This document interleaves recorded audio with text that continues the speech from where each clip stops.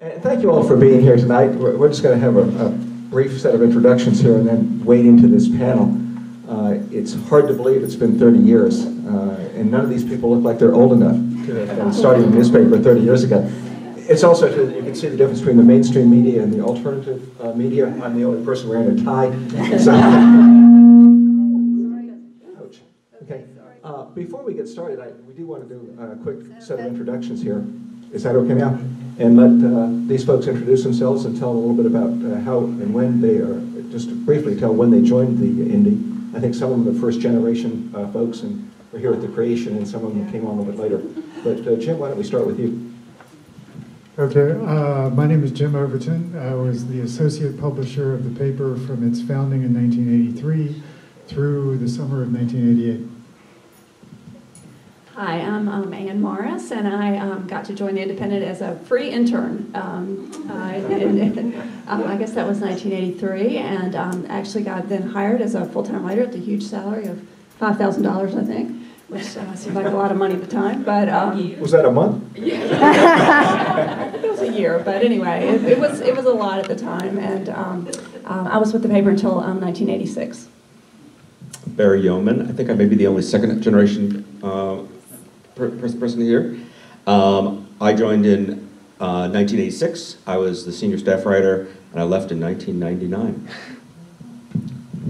I'm Steve Schewel. Um, I was uh, a the publisher of the paper um, for a long time, and uh, and then in uh, '99 I stopped being the publisher of the paper, and uh, but have been uh, the president of the company uh, until we sold it. I'm Dee Reid, and, uh, can you hear me? I'm I'm Dee Reid, I was the uh, associate editor, the first associate editor for The Independent. Um, So I think that was January, maybe Dec- January of '83, maybe December of '82, when it was first getting started. I was there full-time till '86, and then I freelanced and um, worked part-time till '89.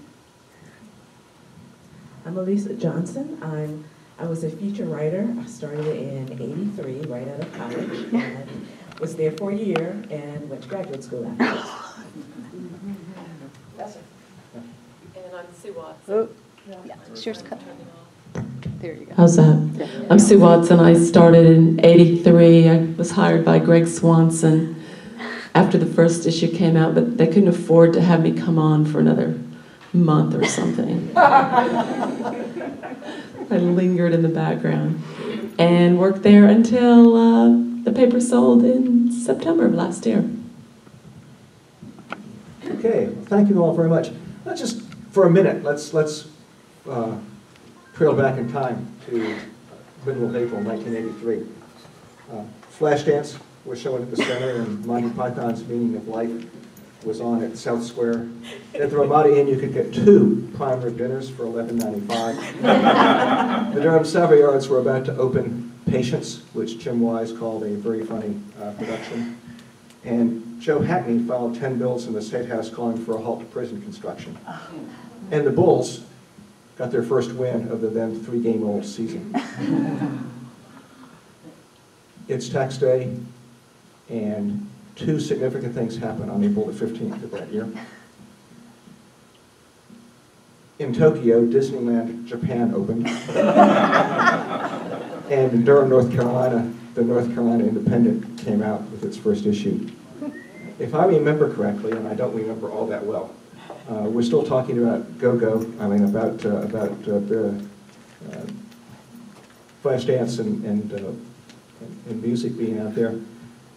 It was a fairly conservative time, as I recall, in the country. So Steve, since you and my old friend and, and Chronicle colleague, uh, Dave Burkhead, decided in 1978, five years earlier, to start an alternative paper. I think it was 1978. I- It says so in Wikipedia, so I know it must be true. In 1978, you guys decided that you were going to start a paper, uh, probably sooner than five years later. What were you thinking? That's a good question, Bob. Um, we were not happy with the Herald. Some things never change. um, or the News and Observer, and we were involved in politics around here. And so um, I think the precipitating incident, and everybody who's up here now has heard the story too many times or was a participant in it, but we, uh, we were arrested uh, at the, the Kudzu Alliance uh, demonstration against Shearon Harris nuclear power plant, and uh, we were arrested over in, uh, at the, in Raleigh at the uh, at their corporate headquarters. It's a good story in itself. I won't tell the whole thing, but just to say that along with us was Barbara Burkhead, who is here, Dave's mom. Barbara, why don't you stand up? And there were 17 of us. Um, we, I think we dubbed ourselves the Raleigh 17.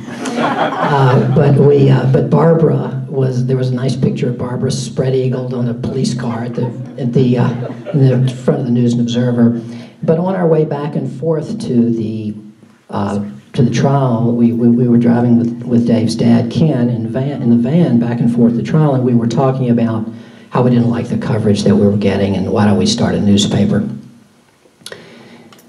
And um, I guess that's that's what it was. And and and then we, I guess the next thing we did is we asked Jim Overton if he agreed with us, and he said he did. and uh, it just it, it really went from there. But it was that I think that was really the the precipitating the precipitating moment. Jim, you were, you were sort of uh, minding the, the till, I gather, in those early days.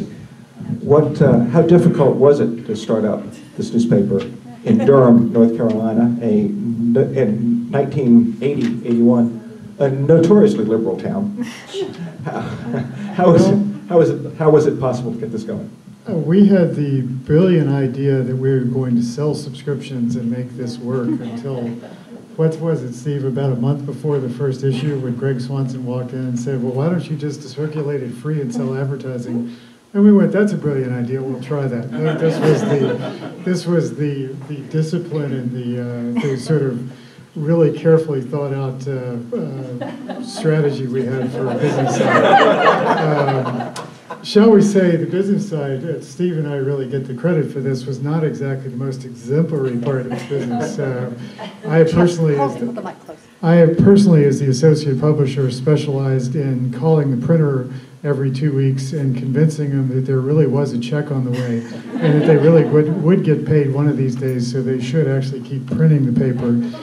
Uh, I wrote very, um, uh, very cut and dried memos analyzing very logically to the staff why we didn't have enough money to write paychecks so that we would have to go without for a couple of weeks. And then Steve would give them a rousing, inspirational speech about freedom of the media to try to keep them going after we got through the uh, first part of this. So it, it was a little complicated, although fun-flat operation. I would say though, I mean, this is a slightly more serious comment. We didn't, we certainly didn't have the brilliance to realize this, but if you look back on Durham at that point, Durham was really still the neglected stepchild of the triangle to a large extent, but already the economy had started changing. With really the beachhead of Regulator Bookshop and some of the Carol Anderson starting vaguely reminiscent on Ninth Street, some of the other businesses that came along, Lex Alexander developing Wellspring Grocery, the Magnolia Grill starting, the whole set of restaurants starting to flourish that had really kind of grown out of another time and sometime. There was actually an economic force there that I don't think we really realized that could support the model that we were doing. And while the most advertisers in the Triangle thought that all of our readers sat around reading us at 11 o'clock by candlelight in their unelectrified cabin late at night, you know, there, there actually was sort of this affluent, progressive community that kind of hungered for what we were doing. So while I can't say it was the most astounding financial success from the beginning, we at least did have something that could underwrite that kind of approach and make it possible for us to build a newspaper. What, uh, what were some of the subjects that you tackled in those first weeks and months? Well, I, I can tell you about the first cover story. Um, some of you will remember uh, Armageddon Chemical Company in East Durham, okay? And they had the unfortunate name of Armageddon Chemical Company. When the hazardous waste containers in the backyard exploded and started a fire in a residential neighborhood. So that was the first cover story. And I wanted the headline to be Waiting for Armageddon, but I think Jim overruled it for something a little straighter than that. But I think that, for me, what I think of when I think of The Independent is that at that time it was a, um, what do we call that, bi-weekly, came out every two weeks. And so we were trying to cover what the daily newspapers couldn't or wouldn't. I mean, in many cases they couldn't. They had their own beats, they were doing breaking news or whatever. But I think it was um, maybe Garrett Epps that said, you know, there are stories out there right under our noses that are not being covered. And they range from the sacred cow, which was, you know, really the golden calf of tobacco, to race, to gay rights, to the death penalty. And The Independent took those stories on, you know, full head on. And, um, and, and nobody else was writing those stories. So we had it all to ourselves, which was really great.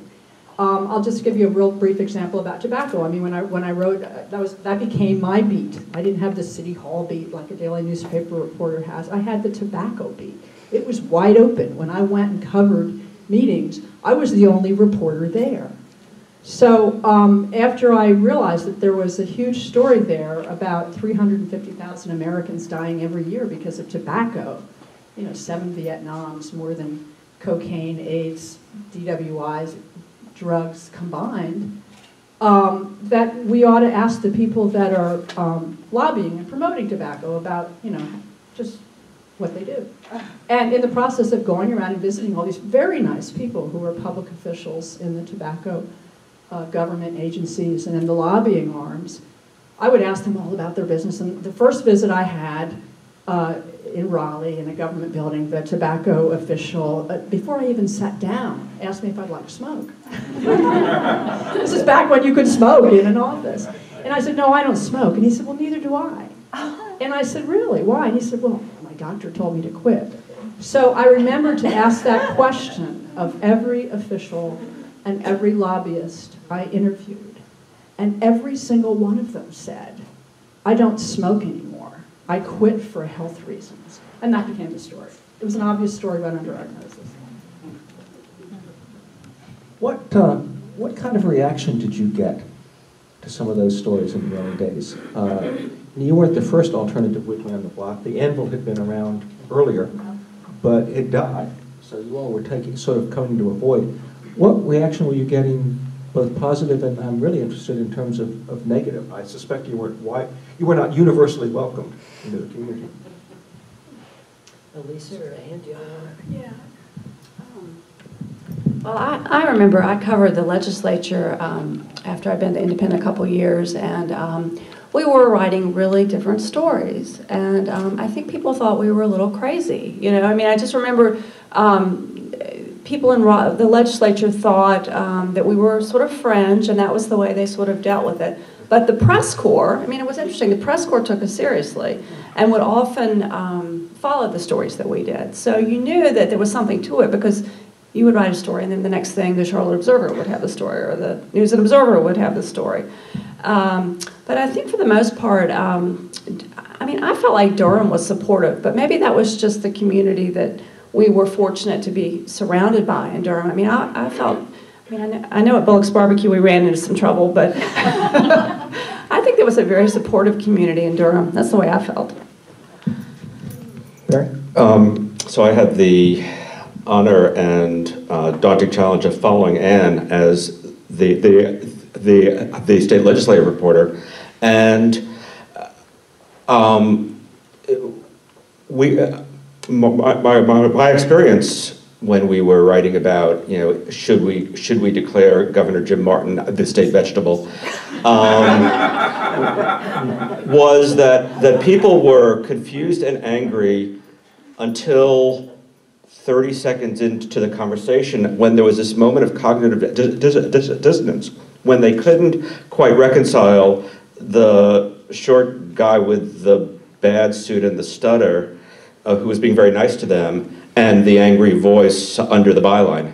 And that was, that was sort of how, how I think any number of us uh, managed to navigate through a sometimes very conservative world. We were nice. We were, we were people who you would like to have a conversation with, and somehow uh, um, we, we wiggled through that sense of cognitive dis- dissonance. Um, I, I, I, I should also say that in the early years, we were getting criticisms from the left. Um, we were not sufficiently progressive. Um, we were we were saying things that were sometimes you know tilting at at the left sacred cow. Um, I remember any number of stories I did about state legislators on the right, where basically I said, you know, I don't agree with this guy on anything, but he's brilliant, and we got some strong criticism about that. Um, so, so it was coming at us from both directions. I- I'm really curious about the, the, the sort of the attack from the left, which is not uncommon. I mean, the left has a way of, you know, circular firing squads becoming part of its, its, its DNA. But talk about some of the things that you did that, that were, that, that rankled Well- um, the more liberal folks, who- or the more radical folks who might have been looking at you. I can remember one if you don't mind, just because I still could probably start gripping my seat with uh, anxiety over this, is that, that Catherine Fulton, our editor, decided that she, that this was a time where the uh, anti-abortion movement in North Carolina was really starting to crank up.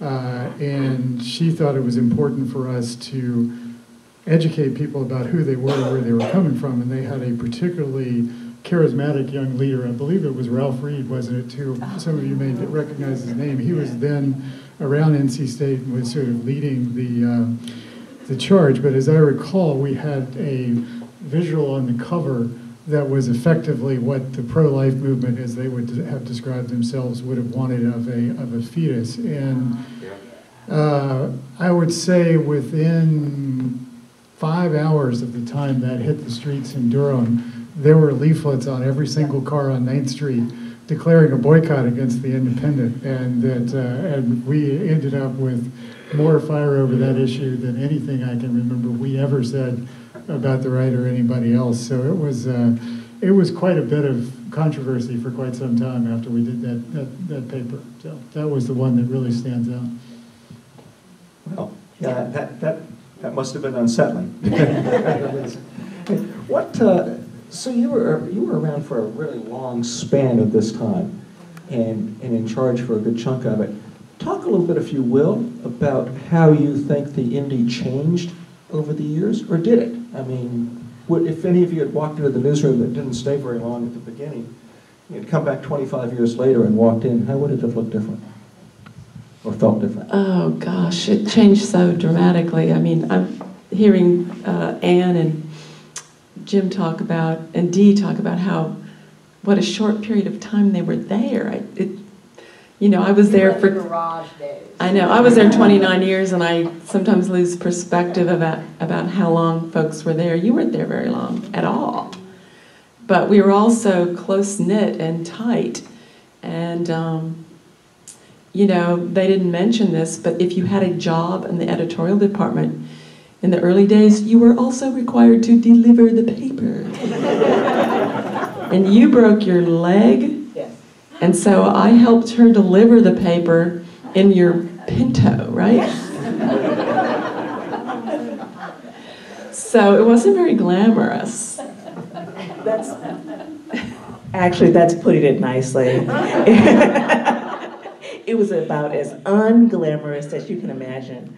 Um, Our basic editorial room was one big room that I guess David Burkhead had built desks. We built and- those. You built those? Okay, so, okay, so Ann was in on that. Um, Very, very small, very, very tight. And um, when Garrett was there as an editor, and he was giving comments, you could hear his voice throughout the entire building. It was, it was really amazing. On the other hand, um, that kind of closeness built a lot of camaraderie. So I just remember how tight and dusty and cramped and fun it was.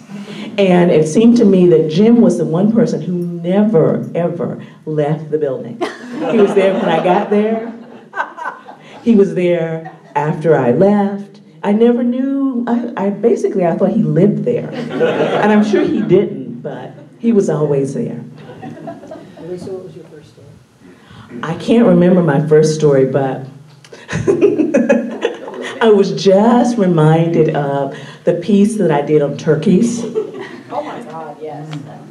T- Tell us about that, I- that, that that reaction nails it. Well, yeah, I was not, I, I started an independent right out of college. And I was not a journalist, so Catherine had me out doing stories of interest. And in this case, it was getting close to Thanksgiving, and Garrett wanted a story about, you know, what went on in a turkey farm. He wanted the anti-Thanksgiving story. So I had to go down east and interview a person at a turkey farm. Um, and I think Jenny LeBaum was my photographer. And I got to see what it was like then, and it's a whole lot worse now, you know, with mass, mass-produced turkeys. And so I wrote this piece about it. I do remember that the, um, the owner of the turkey farm was not happy with me. Uh, but it was a very eye-opening experience, and I learned a lot. And people keep telling me they still remember that, which I find really amazing. Steve, when, when people like the, uh, the turkey farm were, were less than pleased with the fact that they'd been in your search spotlight, I'm guessing, just guessing here, that the calls would come to you. Uh, How did you handle them? We would put it on a T-shirt. I, I was hoping it was something like that. I will say that we, uh, my favorite T-shirt was, um, and, and we have some of our other Indy staff here, and they'll remember this as well. But uh, Barry had written uh, what I think is still one of the high points of the Independent's uh, publishing career, our, our 29 or 30 years. Um, and uh, it was a series called Highway Robbery, and it was a wonderful, wonderful series about the, the Department of Transportation, and it was months of research, and it was fabulous, and it won, you know, tons of awards, but the best thing about it was the Secretary of Transportation uh, thought he was going to make a point about this story, and he, he said that he, he- the story was meaningless because uh, we were the left-wing attack media from hell. So that was an That's your slogan. awesome, so, so that's the answer to your question, Bob. We put that on the T-shirt. There, there was, there there was the, I mean, it, it, it truly, when those calls did come in, uh, and we all fielded them at various times, I mean, Sioux has fielded probably more than any of us, but, you know, you have to take them seriously, as you know. You have to first figure out, are they right? You know, maybe we did miss it. Uh, you know, it, it, so you have to sort of check that out, and then after you find out you were right, that's when you put it on the T-shirt. Uh, but, but of course, there were times when we weren't, and we had to acknowledge that. Uh, but part of the fun of being in the newspaper business, and I don't have to tell you this, is that. Um, well, it, it's part of the fun and also part of the difficulty. You know, you, you do get it from everywhere, and, and there is a lot of attention focused on what you, you know, institutionally or, or individually, in the case of reporters, are saying. Uh, you do develop a tough skin, and I think you do have to, to some extent, um, you know, be able to enjoy that. Um, if you can't, I don't think it's easy to, to be in the newspaper business. So. Were there ever any times, particularly that first year or two, uh, and I suspect there were times, so what, what was it like when you began to wonder if you were going to basically make it, if you were going to be able to convince the printer next week that it was time to print? Were, were there moments of doubt in that first year or two, either on your part or any of the staff members who were there? Well, let me make one quick comment on that, and then I think Jim would probably have a lot of perspective. Uh, my quick comment is that we were supported over the years by a group of shareholders. There's a sucker born every minute. Uh, without identifying them, I will say that I see four of them here. And we are eternally, great, eternally grateful you did not get your money back. We know that. Um, but but uh, Catherine and I uh, and others, uh, including Jim, and uh, you know, we, we raised money from 65 individuals, and so that's how we ended up being able to make the pay a lot of the time, especially in the first years. We, we actually were uh, profitable some years, and it's hard to believe. Um, but in those early years, we really weren't, and we really struggled. And uh, as I say, I know there are other people out here that, that you know, ex- you know, after Jim left, uh, Jewel Wheeler, who's here, was one of the people that had to, you know, balance that budget every time. So Jim, Could you get a fellow staffers? Yes, everyone can. so uh, why don't, if you worked at the Indy, will you please stand up? Great idea.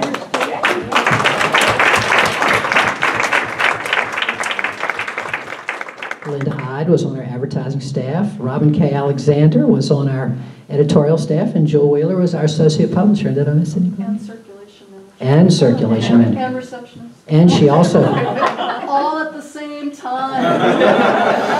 and she wrote this, the staff skit at our retreat. And Barbara Burkhead was our loyal, you came in and, and mailed copies every two weeks to all of the, the little tiny, yeah, the tiny little crew of folks who actually subscribed from across the state.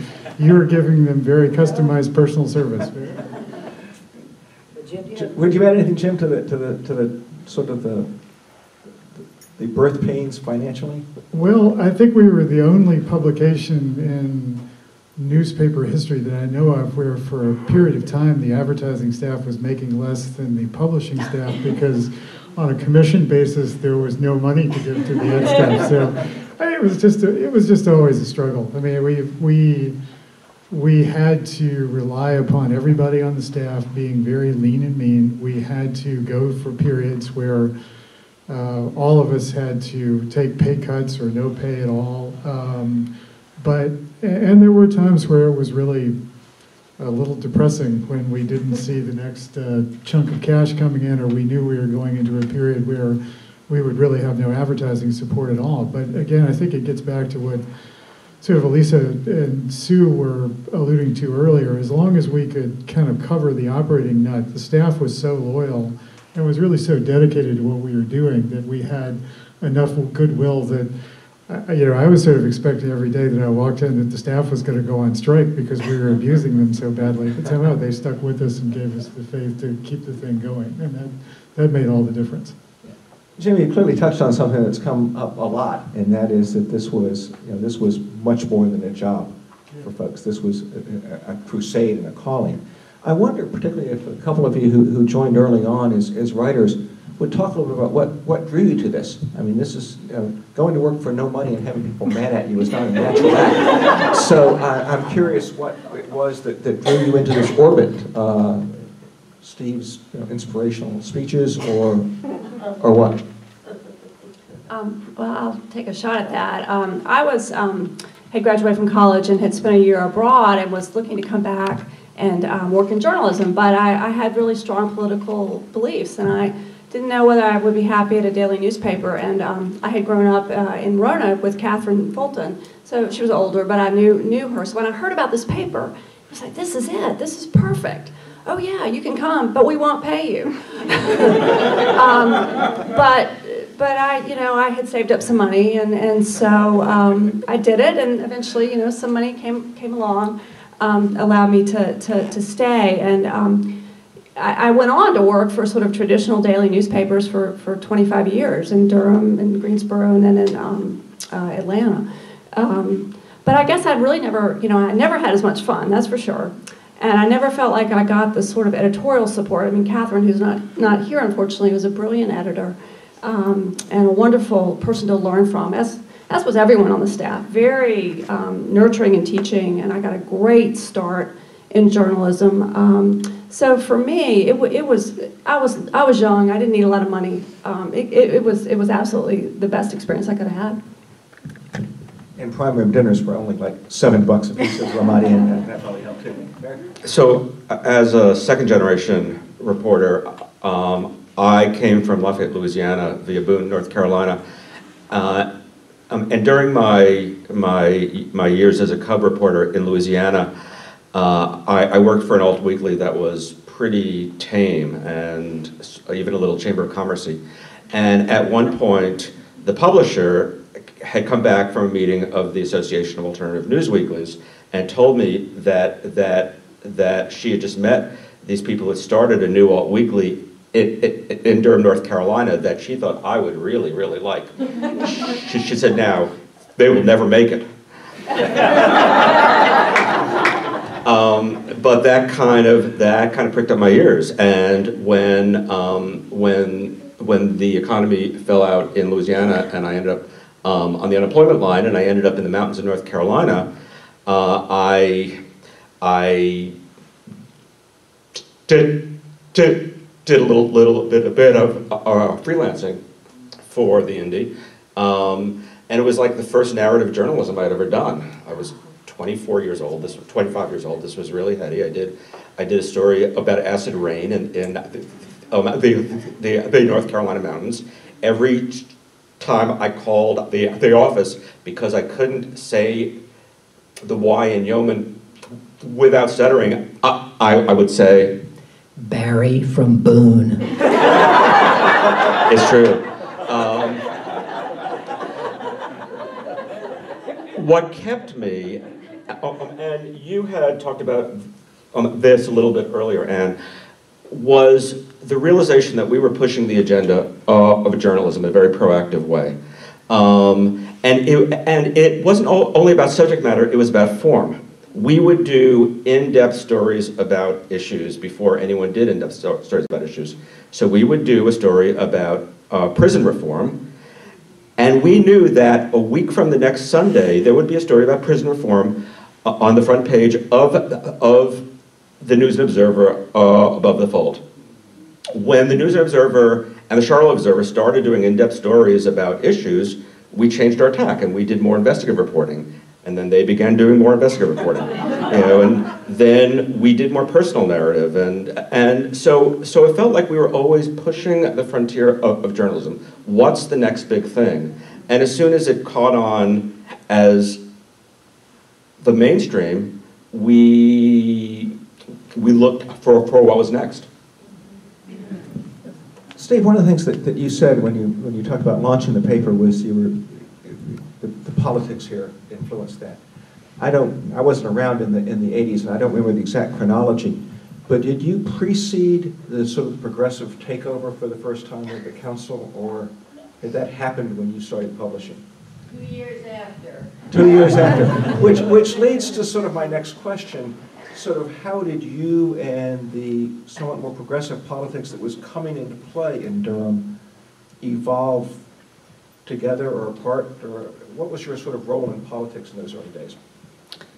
Uh, So, um, Jim has described the growth of, uh, of an economic culture that could support us, and I think at the same time there was a political culture that was growing that could support us as well.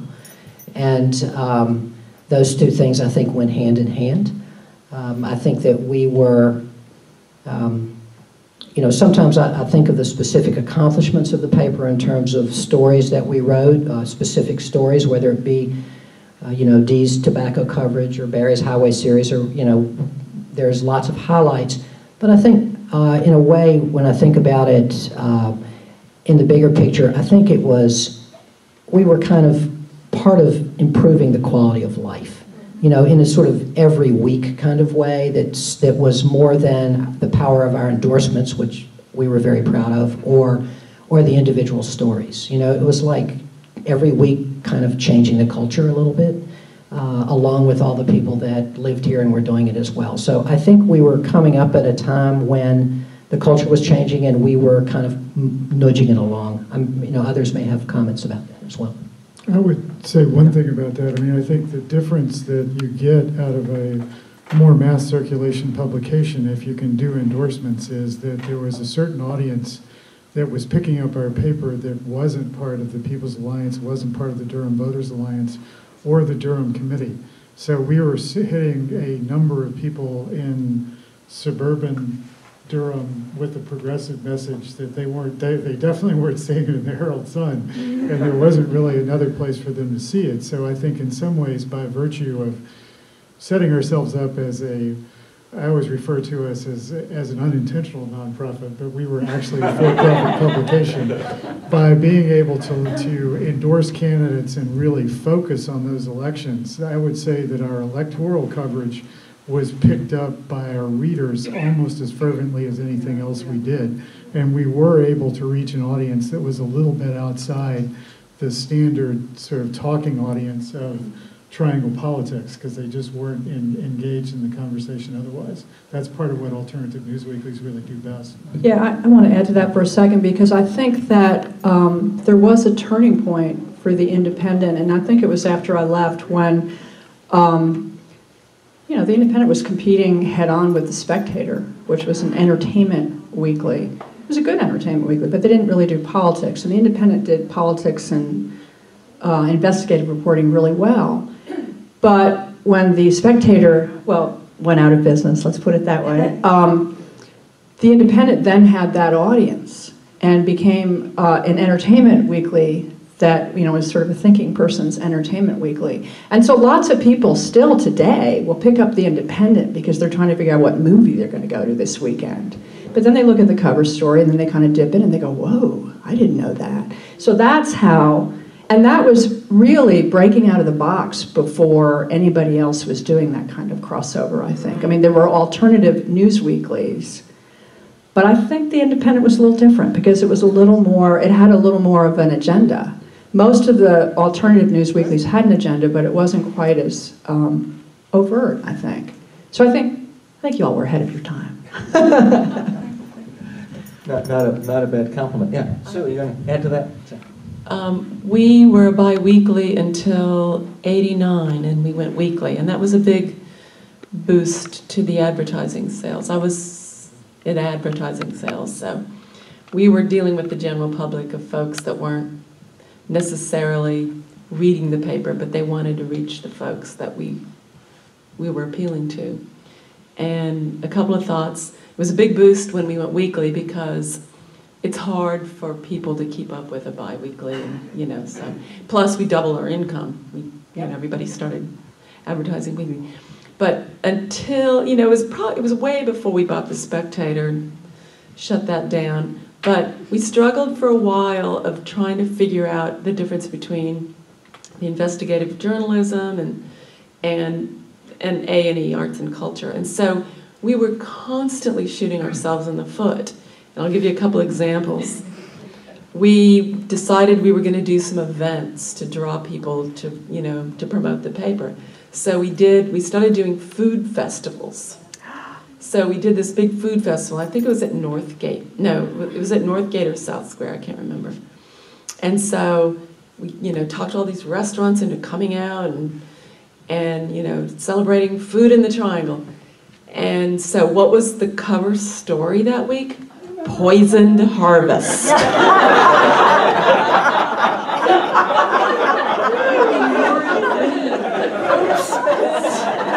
Awkward. Poisoned harvest.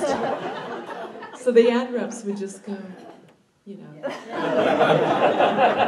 and then the other example um, caused me a lot of angst for a lot of years when we decided to start to do restaurant reviews. Well, we, you know, Heart and Soul was selling restaurant ads. And so the writers would go about it as an investigative piece. well, if you recall, our original restaurant reviewer would only talk about what the noise levels were in the restaurant, whether the lighting was sufficient to see the uh, words on the menu, and then would finally get around to the wording. And I actually had a friend, this person identified as a sort of middle-aged woman, but I had a friend who pegged this. Well, the guy, because of the noise, he's got to be about 70, and the light is about 70. He writes like a man. He had it down to a T. This was the worst restaurant reviewer for a for an advertising-oriented publication you could possibly have. So you probably still have great memories of dealing with uh, Mary Bacon and another time over the restaurant review that we wrote for her. That was uh, that was that was the example of where we did have independent editorial policy compared to our advertising. If you only had 35 advertisers, every one really mattered. which which leads me to a question that uh, that uh, that probably followed the time that some of you were there, but, but Sioux and, and Steve and others can, can speak to. You talked about a little bit when the Spectator went out of business. When did, when did you sort of begin to feel that you had a flywheel effect going? When did you begin to feel that, hey, this is, this is pretty good? We came out this week, we're going to come out next week, we're beginning to get some recognition, you know, this is, this is taking hold. What would you say, Sioux? Well, for one thing, we didn't make any money until 99, right? Steve and crew would have to go out and raise money every year from shareholders. So that was a big turning point. Yeah. That was a huge turning point. What, what, what turned the corner? I think that um, not necessarily because of our uh, brilliance, but just because of our staying power, which we had a lot of. Um, we we just gradually, you know, clawed and scraped until we had enough readership and enough advertisers, and we had cut into the spectators base enough. And honestly, I think they, well, they made some mistakes, and we became extremely competitive with them. Um, and we had so many strategies, you know, undercutting them on our ad prices. That was easy to do. Nobody wanted to pay anything for our ads. Um, but, um, you know, we had a lot of strategies, and, and at one point, we, the one kind of, one thing that we really wanted of the spectators was Hal Crowther. And when we got Hal's column, um, and we went weekly, as Sioux pointed out, that was, those, those were big moments. You know, so there were several big moments along the way, but I think mainly it was just, uh, trying, you know, persevering and having a high quality of, of, of editorial. I mean, I, I've always been very proud of the quality of our editorial work, and so I think that over time that matters. It doesn't matter like the first week you're out, but I think over time that matters, and, um, and that's so we attracted a large. You know, we had a large audience, so once you have a large audience, you can sell ads. The, uh, wh- when it finally began to sort of take hold, and you, you, know, you made money in 1999, did it change your culture any? Did it change your worrying about looking over your shoulder any? Did you become any more, did you become less alternative as that happened? Well, I think I might define alternative, you know, I, I mean, it sort of depends on how you define it. I mean, I think that we were still um, alternative to the mainstream media in important ways. Um, I think that, I don't think we ever shied away from a story that we might have shied away from otherwise. I mean, we made a lot of mistakes, we did a lot of things wrong, but I, I do think one of the things we did right was we didn't shy away from stories, and I don't think we ever have. Um, and so in that sense, I would say no. Um, I bet members of our audience might have some thoughts about that too. Uh, but I, I, mean, what we added, uh, and Dee alluded to it earlier, or talked about it earlier, we added arts and entertainment. When we first started out, we had no arts and entertainment. We had a one-page calendar. It came out every two weeks. Carol Wills, who I wish could have been here tonight, edited it. She drove over from Wendell, and she edited our calendar as a volunteer. Um, and, you know, we have and, and, so, you know, we, we, that was it. We were a political newspaper, and that's what we did. And then when we changed to, I mean, I think that we realized that we had to speak to entire human beings, not just kind of, you know, they did want to know what, the, what movies were good, and even if they happened to be uh, left-wing politically. Um, even left-wing people like to go to the movies. Um, and so I think to I think that was a that was a good thing. Um, and you know, I should say we have other people. It just reminds me. Think about Carol. We have, you know, so many people made contributions that are completely unheralded. Uh, Jim talked about Barbara and the and the uh, labeling, but Joanne Abel, uh, from the very beginning, uh, cataloged the Independent. Indexed. Indexed. Thank you. My library terminology is not good. She indexed the Independent and made it available to us and to libraries, and did that for, for you know many many years. Uh, and so you know there were a huge number of people that, that made a contribution uh, over the years, and many of you all are out here. You know, some some of you left relatively early, went on to other things. When you left, what did you miss?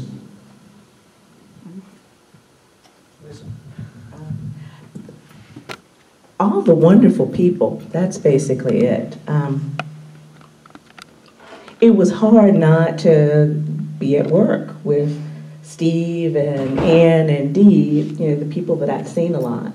Um, and I miss the energy, even though when I came to the Independent, I was not politically savvy at all. I was right out of college. I wanted to be a writer, and a lot of times I was two or three steps behind every conversation that people were having in the office. But I just loved listening to it. And I learned so much about politics and life. I mean, Steve basically drugged me from Greensboro to Durham. Um, he insisted that I move. He found a place for me to live. Um, set up an appointment for me to meet the people in the house. I mean, he really wanted me to be there. And just basically introduced me to tons of people in, in Durham so that I felt at home when I moved here. And, you know, I, I had, hadn't had a lot of work experiences up to that time, but I can't imagine that I could have had anything that was as meaningful or connecting as that. And I learned so much working there, even though it was a short time. I learned, um, one of the things that I learned was that I wasn't a journalist. and that was okay. Um, I learned that I loved writing, but I also learned that I loved stories because there was one piece that I did, and it was on um, the pet cemetery on Highway 70, which soon won't be there. And it was a very emotional piece because at that time, people weren't demonstrating their connections to their animals the way they do now. And so when I started doing the research for the piece, there was a general kind of belief that people who actually buried their pets in cemeteries were a little bit off.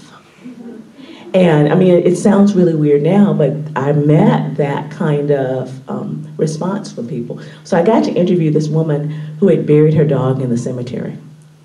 And she was still, it'd been a couple of years. She went to the cemetery every week. She mourned this dog. This dog was a part of her family. And so I did this piece on her, and I remember thinking when it was done, I was really afraid that instead of elucidating that situation and making her seem sympathetic, that I had inadvertently opened her to ridicule. And that was really difficult for me. And so I got in touch with her, and she was perfectly fine with it. But that stayed with me for such a long time, and I had to think about why it was that it was, you know, the people that I talked to more than the subjects that I was working on that really helped me. And at the end, I realized that, you know, I love stories, I love narratives, I love talking to people, but in a different kind of way than journalists do. Can I add one Yeah. thing to that? Um, this hasn't really been said, and it, it should be said here tonight. I think that for me, one of the most important formative um, things about the Independent was the modeling that I saw about leadership. And that was really, you know, from Steve and Catherine and, and Dee and Jim and, and, and lots of you guys. But it was like how to really run a company in a good way. and to give people a voice and to have open meetings and to have everyone really have um, an ownership and a stake in what they were doing. And, you know, I've never really experienced anything quite like that again. But in my own little way, I think I've tried to do that as a boss and as an editor. And um, I, I really learned that from you guys. So thanks. One other quick question for, do we got to follow up anything on that? Well, I was just going to say that I, I think, uh, I mean, what I don't miss was the, uh, the, you know, working in a garage with toxic fumes coming in from the automotive shop next door, sometimes mixed with a little marijuana, which made it interesting. But when you work in close quarters with people who are really dedicated to the same thing that you're dedicated to, there is just nothing like that. There, you can't you can't clone that, you can't duplicate it. So it's, it's, it's like a family. You work under stressful conditions, a little bit like a warlike atmosphere. I guess people say they, you know, they love the, the foxhole. And so that's what we had, Alisa. Um, and also, the, um, Ann, um, I think, touched on this, the Independent was an incubator.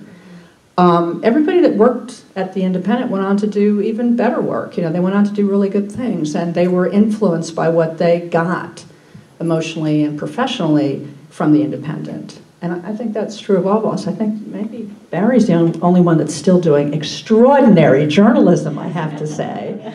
Ann went on to daily newspaper work. Um, Sioux, you know, ran the paper for many, many, many years. And Alisa is a very fine academic, a very fine professor, and a wonderful writer. Um, and so, you know, everybody here, I think, was changed by uh, the golden the golden days at the Independent. That's, that may be a good segue into opening this up uh, to you all. Uh, Steve mentioned a moment ago that some folks in the audience may well uh, have some things to add or some questions to ask. Uh, Here's your chance to turn the tables on people who ask questions for a living and to ask them questions or to share your memories of the Independent. I think we have a microphone for folks. Uh, If you will either step up to it or let it come to you so folks can hear you, we'll open this up to you for a while. Well, I had a quick question. I wondered if uh, the political endorsements were part of the independent when it, in its beginning. So, you know, the way everyone's become uh, accustomed to picking up the independent uh, near election season to sort of make a choice. Was that uh, something that started from the beginning? Yeah, it was, and we made a conscious decision to do that. That was one of the reasons we, we didn't go not-for-profit. Uh, we were, you know, Jim talked about this a minute ago, we were for-profit, and one of the reasons is if you're not-for-profit, you can't make endorsements. We knew we wanted to make endorsements. And when we would, uh, we would put out, after every election, we would make endorsements, you know, all over the triangle eventually. You know, we'd make endorsements in as many as 50-some races, and after every election, we would put out a little sheet of paper that was all the elections that were close, where we'd endorse the winner. Because we felt like we'd made a difference, and that was big for us. We really, we did, and it's interesting, and Sioux and I have had this experience that uh, when the Indy, now that the Indy is online, and, and has been for many years now, but uh, I think that uh, the, I think that last year, the day the paper came out with the election, election endorsements, I think we had something like 15,000 hits that day. You know, so it's still, I think, one of the best and most important things we've done. Steve, can I ask a quick follow-up on that? Did, did you- did you think your uh, influence was stronger in Durham and in other parts of the Triangle, or how does it play in the, some of the larger, or in the case of Chapel Hill, uh, more unique? Well, I'll, I'll give my thoughts on that, and others may have uh, uh, different opinions or other thoughts. I think there was two things. One is because our home was in Durham and we're so kind of ideally fitted to the culture here in a way, um, it, it was influential. But I think there's another thing, which is that Durham is an organization town. You know, uh, there, there, there are political organizations and affiliations that have very powerful followings themselves. And that is less true uh, in Raleigh and even in Chapel Hill. And so where there was less affiliation, I think in a way we had more influence. If you weren't as likely to be influenced by political PAC, uh, you were then you're, you were more of a, uh, a, a, a, uh, a free agent voter. And I think that in some ways that also carried its own power. Other questions? Uh, Yeah. Um, I was part of, uh, with Barbara Burkett and others, part of the Independent Fan Club. Um, yeah.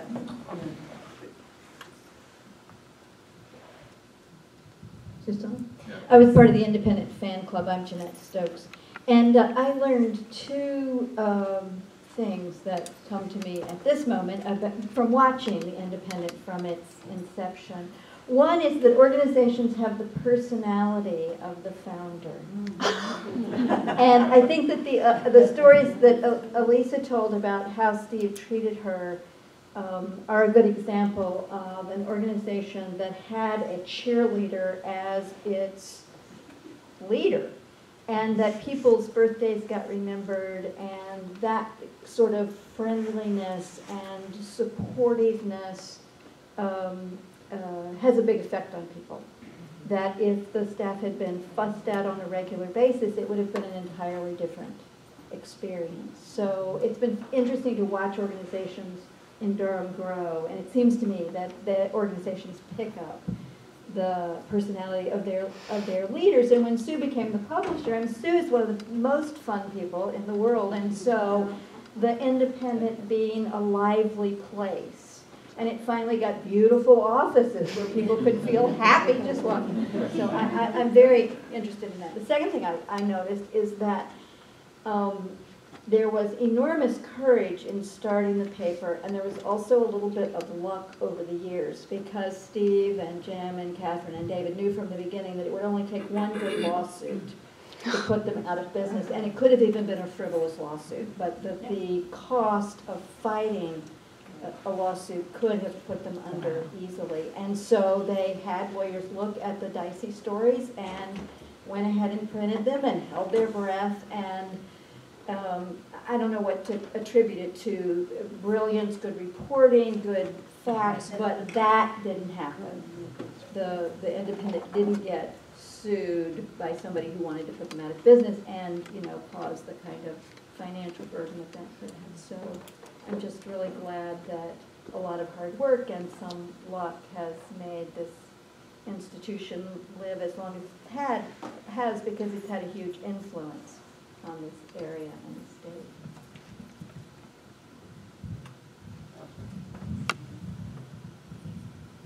Can you hear me? Yes.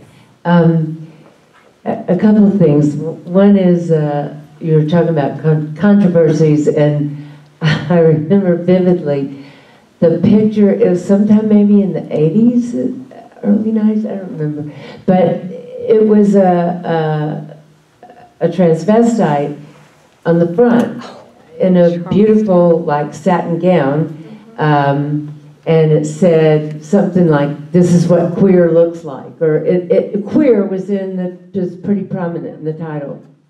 The Y, I was going like promptly stopped carrying in the Independent, and I don't know how you ever resolve that because they do now, but I mean that was that was big, um, and maybe you could talk to that some. But the other thing I want to just talk about is the rootedness not just of the independent, of the people in the whole, whatever, I'll, you could say alternative culture, but there are many nonprofits. Southern Exposure, Jim came out of, and um, there was North Carolina WARN. There's so many places where uh, the work was being done that you could do a great investigative series because you could work hand in hand with the people in the community that were totally on top of the other side, so to speak, of the story. On, you know, everything from the poultry, I mean, God, so much. So, uh, I mean, it was a great vehicle to get that stuff out um, from people who are working on it as well. So, so Len, um, um, th um, th thank you for reminding us of, of um, the drag queen, who I've forgotten.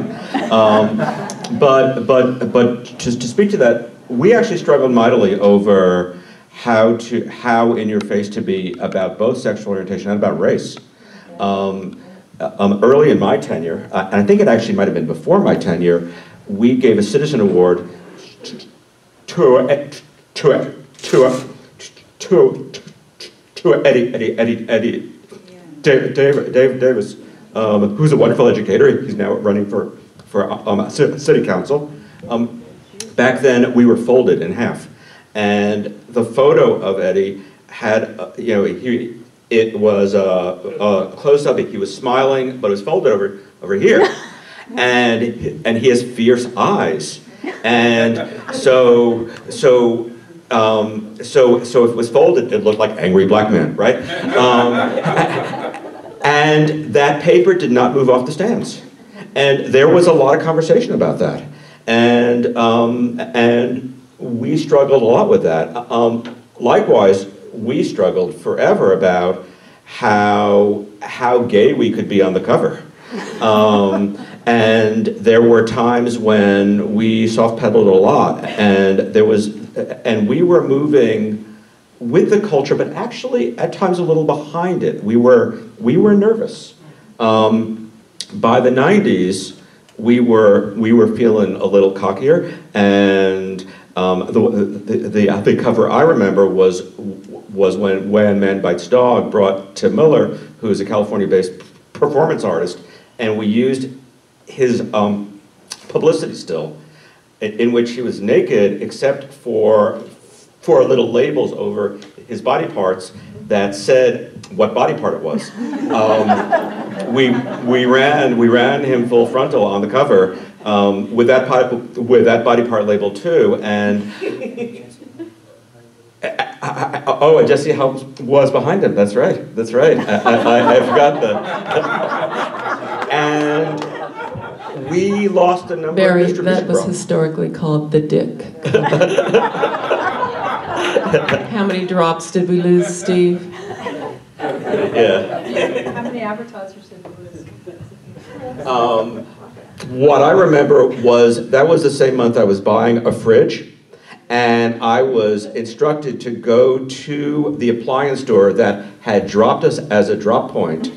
uh, um, t- t- t- to tell them that I had seen their ad in the Independent, and, um, and then to drop $800 on a refrigerator. Did the Independent get back in with that? I, I, I have no memory. Um, my name is Marty, and I'm also part of the fan club. And since we're talking about sex, I'll say the one thing that's been hardest for me were the personal ads all along. So I'd like somebody to address that. Oh, no, that's a Steve question. He's got the canned response already, right? I used to have the canned response already. Um, yeah, we always struggled with that. Not the personals, but the sex ads, to make a distinction. Uh, the personals were something that we actually felt good about and made a lot of money on. Um, and I still have people come up and say, We met in your personals and we're married, you know, that kind of thing. The sex ads were a whole different ball of wax, and, and uh, even though Sue's right, it is a me question. She and I both have had to struggle with this over the years. Um, and, uh, you know, it, we went all kinds of ways with it. I remember, Marty, when you wrote us for a while, uh, one time and said, you know, you guys are having Filipino bride ads. And so we said, okay, we can't have Filipino bride ads. Uh, but we still had, you know, sex lines. And, uh, and, and there's a, you know, I don't have a, I don't want to make a great defense of it. Uh, we did it to make money. And um, uh, that's why we did it. Steve, just a, a slightly different version of that. As I recall from the day we published, we very stridently said, we will not take tobacco advertising. Of course, nobody ever offered us any tobacco advertising, but it was a really good, firm principle for us to be able to take on to show that we were trying to adhere to some, some sort of principle. Jim, that's not true. We turned away hundreds of thousands of dollars. That was after Jim was gone. That was after my time, too. Um, we were not unified as a staff on, on the, uh, the, the issue of, of sex eds. I think we were all unified about Filipino brides and other, uh, uh, uh, um, and other clearly exploitative ads. But, but for example, there was a period of recorded sex, sex, sex ads, um, you know, sex talk. And, uh, and I know that, you know, I was holding down the libertarian end of the, the, uh, uh, of the argument saying, you know, there should be a wall between editorial and advertising. And we should not let our editorial mission dictate our advertising, just like we should not allow advertising concerns dictate who we write reviews of. Um, and, and so for me, um, being amoral about advertising, except when there was, you know, clearly people, there were clearly people being exploited, was a part of having up a solid wall. Um, we, we went around in circles um, as a staff and we adopted various policies at different, at different times. Um, there were times when we had no such ads. There were times we had lots of such ads.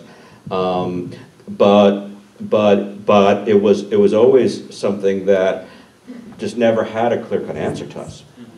I have one other quickie on that, which was Carol Wells. I wish she was here today, but we, she said, Steve, how can we take liquor advertising, but we don't take cigarette advertising. And when I struggled with that, she said, the reason is you like to drink, but you don't smoke.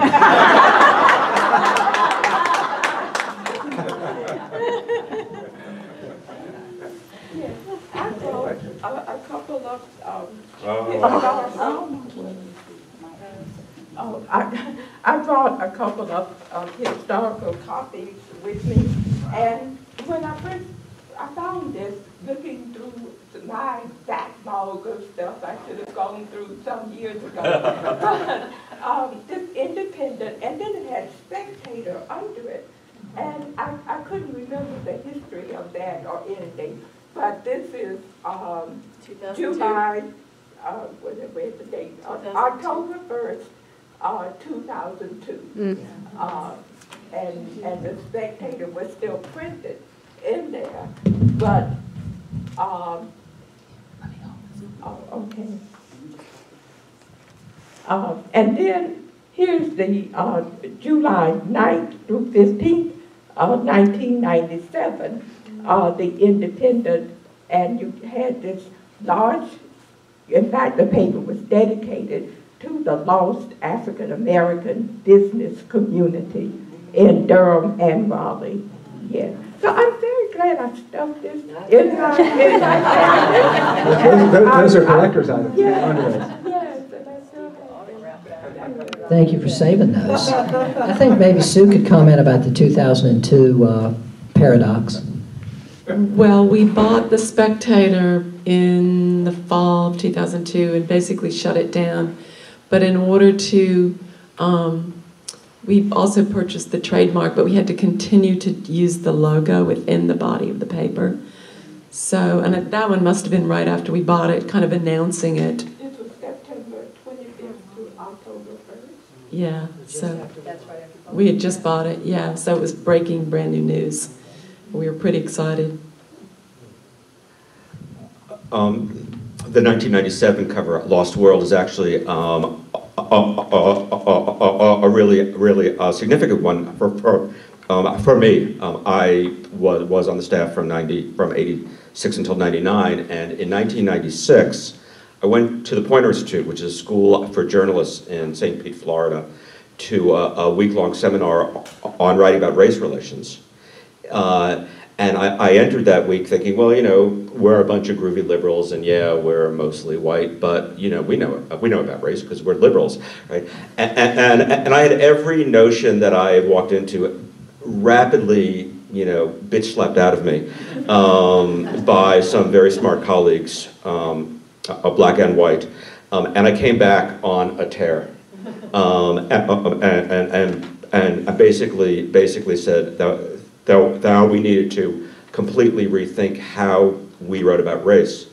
And during that time, we convened um, uh, uh, meetings at, um, um, at my house, actually, one with a dozen African American leaders, one with, with, with a dozen Latino leaders, and said, you know, you know, talk to us. What are we doing right? What, what, what are we doing wrong? Um, we listened as we got some very strong criticism. We did tremendous outreach to hire black writers. Um, that was when we we first hired Afefe Tahimba and Derek Jennings as columnists, and then the, then then became, became a, a staff writer. Um, um, and um, in that process, one thing I was hearing from African American writers is we want to have a Black History Month issue. And I was trying to push back and say every month should be Black History Month. They said, no, no, no. We want some, say, yes, we should be thinking about African American issues all the time, but we also want a Black History Month issue. And, and that was our first. Um, when, when it came back um, the, um, the next year, um, we convened um, um, the same group of writers and said, what's, what, you know, let's talk about the topic for this year. And there was a consensus that very quickly um, coalesced around the culture of the brown paper bag, which as, you know, a white liberal, I thought, no, we can't do that. But, but, but you know, I, I had Afefe and Derek and Damian Jackson you know, all saying, oh, yes, we can, and we will.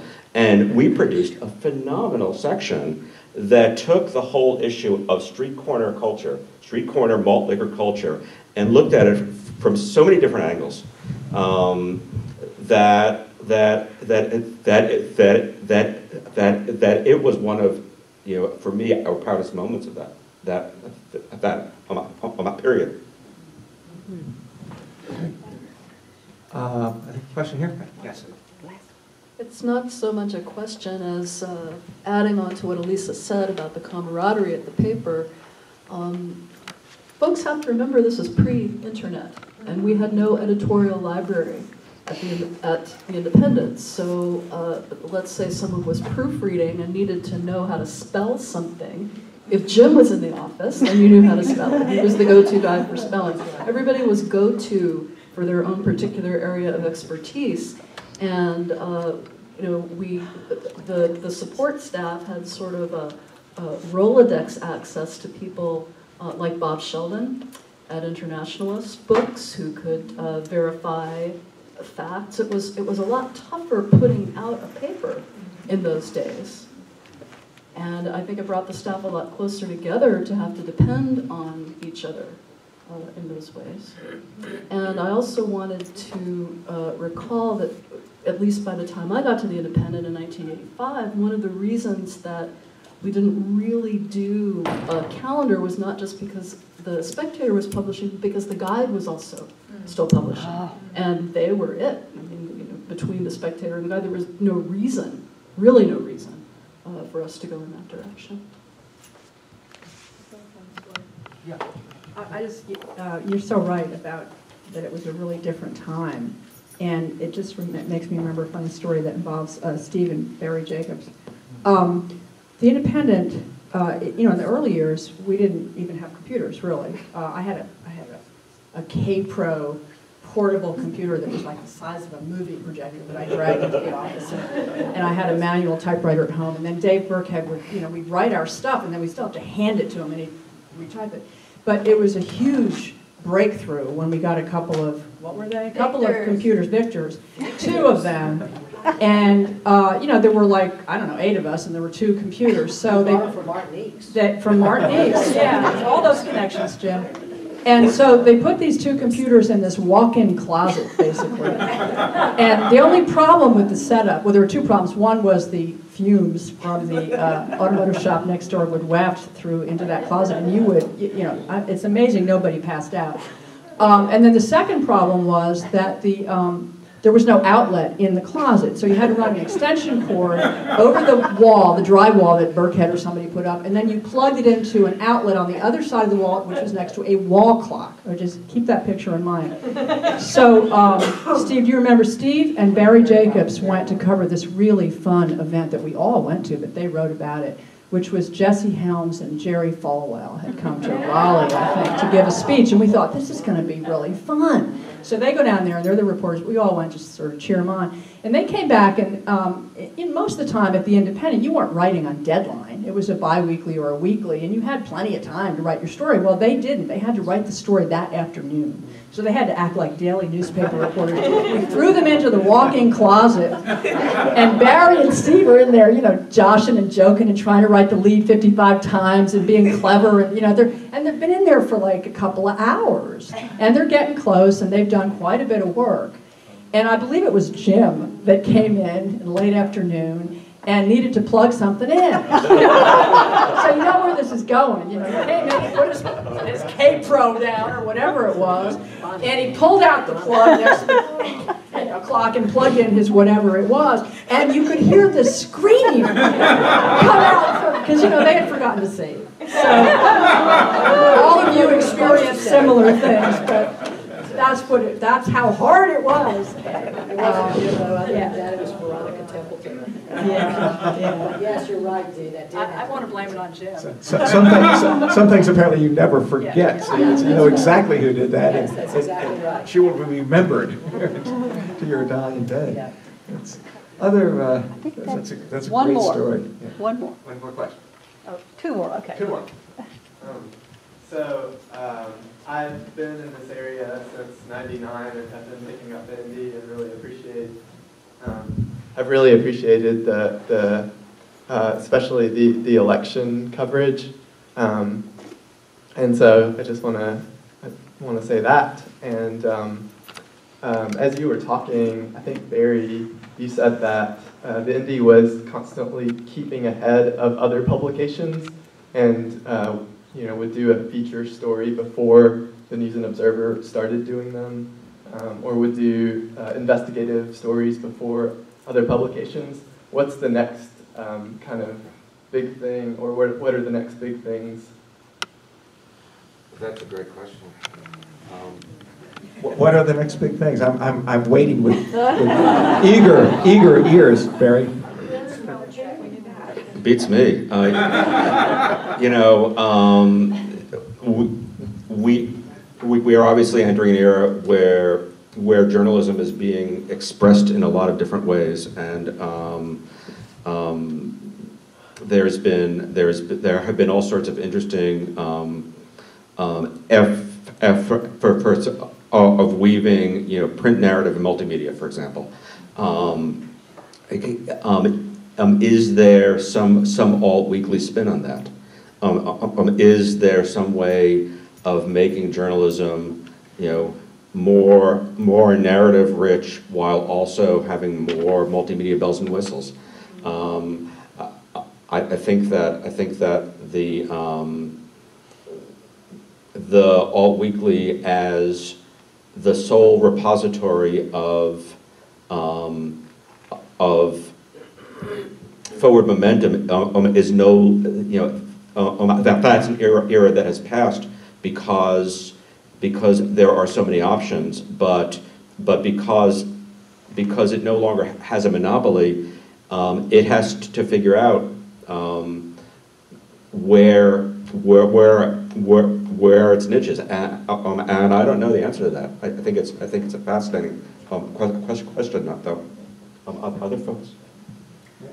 Um, well, I, I just think editorially, um, there's still a, you know, very strong need for um, real, thoughtful journalism, and also the kind that isn't, you know, cable ready and, you know, instant news and that sort of thing. So I, yes, it's true that you have to compete with Twitter and blogs and, and cable and all of that, but you have something to offer that people really want. So I would say keep looking at the stories that are right under your nose that nobody else is doing. And I, have got, I've got a story idea for you. I think it's the independent's job to write the story of what went wrong with the Democrats, North Carolina Democrats. Um, nobody's doing it. The Democrats aren't doing it. They're not being honest with themselves about what went wrong. They just want to blame it on the Republicans. And I'm sorry, it's not just about money and about Republicans. It's about the Democrats. And um, there's a lot of independents out there. There's a lot of Democrats who have been around for a long time. And Barry, you're the guy to do it. There, there you go. There's, there's a challenge. I think we have time maybe for one more question. Yes. It's okay. I was going to ask how you saw the internet um, and just newsprint, actual papers, because I'm one of those people, I love holding a newspaper. I like turning the pages and reading it. Um, And I just was curious as to, to where you saw that coming, and you have, have addressed part of that already. Great. Before we wind up, uh, are there any parting comments that any of you want to make, that are Well, moved to make? If I could make one, as one of the people who sort of bailed out early, so can't claim too much credit for the long-term success. Part of my job since that point has been evaluating businesses. So, I- and I don't do that much forensics, and Marty and I used to share this quite a bit. I don't usually do rear view mirror forensics, but if I were to look at the independent, what I would say about it is that it built a very solid social mission. It provided a really good work life, working life, not always the greatest salary for its people, but a good place to work for the people who were there. Built a phenomenal editorial staff with people who did just amazing things, who won more awards per square inch of copy than most publications can ever claim to do. And when it was time, uh, made it through a nearly 30-year lifetime, which is very unusual for a small business, any kind of small business, to last for that long. And when it was time to sell it, they, Steve sold out to one of the papers that we had always used as one of the examples that we would look at regularly because the Willamette Weekly in Portland was more committed to journalism, more committed to news, more committed to what had infused the Independent from its initial days than virtually any of the other papers we saw in the National Association of Alternative News Weeklies. So I really think that the, the folks who built that long history for the for the Independent, and particularly Steve, is that uh, that initial leader that got us all into this crazy venture really deserve an amazing uh, debt of gratitude from the community because they did a great job.